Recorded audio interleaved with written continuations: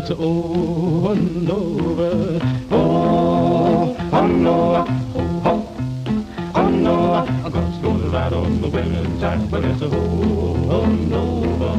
Oh, oh no, oh, oh, oh no, I'm gonna ride on the tide. Brother Noah, my God's talking, said he would ride on the wind and tide. Hey, children, stop, still, and listen to me.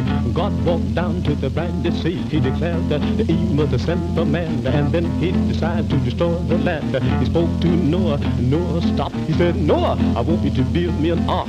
I want you to build it three cubits long. I want you to build it big and strong. I want it 50 high and 50 wide so it will stand the wind and tide. Oh, Noah, oh, oh Noah.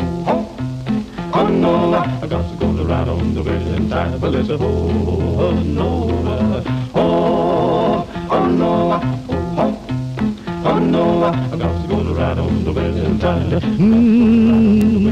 Got to go to ride on the wailing tide. Got to go to ride on the wailing tide. Oh no, brother Noah, my God's talking.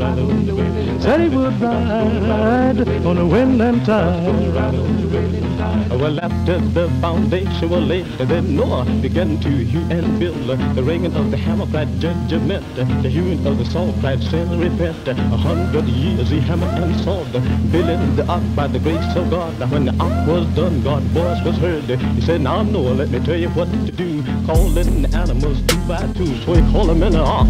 Two by two, he called the birds, the ox with the kangaroo. Then he called and jump back the Ham and Shem.